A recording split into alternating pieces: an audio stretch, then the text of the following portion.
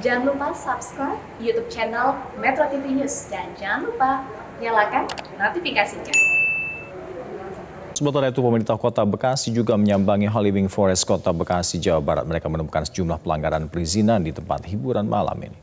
Sejumlah operasi perangkat daerah terdiri dari Dinas Pariwisata dan Dinas DPM TSP, Dinas Kesehatan, Kesbang Pol, dan Satpol PP Pemkot Bekasi mendatangi Hollywood Forest di kawasan komersil Sumarekon, Bekasi Utara, Kota Bekasi pada Selasa malam.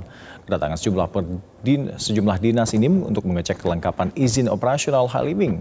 Dari pengecekan berkas, pihak dinas terkait menemukan diduga terdapat tiga pelanggaran perizinan, di antaranya tidak adanya kelengkapan sertifikat sanitasi, izin penjualan minuman beralkohol di atas 5% yang belum terverifikasi, dan pelanggaran protokol kesehatan seperti jaga jarak. Namun Pemkot Bekasi belum berani menertibkan atau menyegel. Satpol PP masih harus berkoordinasi dengan atasan untuk melakukan penindakan.